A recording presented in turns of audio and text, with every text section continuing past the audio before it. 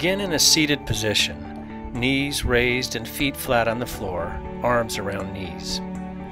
Now roll back and up into shoulder stand position, with the palms of your hands pressing against your lower back and your legs pulled up above your head, the back of your head resting on the floor.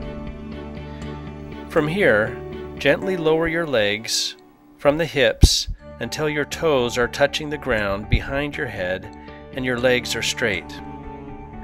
Bring your arms down to the side and interlock the fingers of your hands and pull them away from your body and down towards the floor.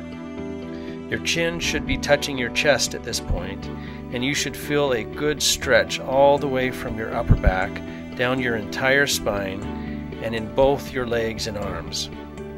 Hold this position for as long as you can. Usually just 5 to 10 seconds is enough. Do long, deep breathing as you hold plow. When ready to return, raise your feet off the ground, bend your knees, unclasp your hands, and rock back forward.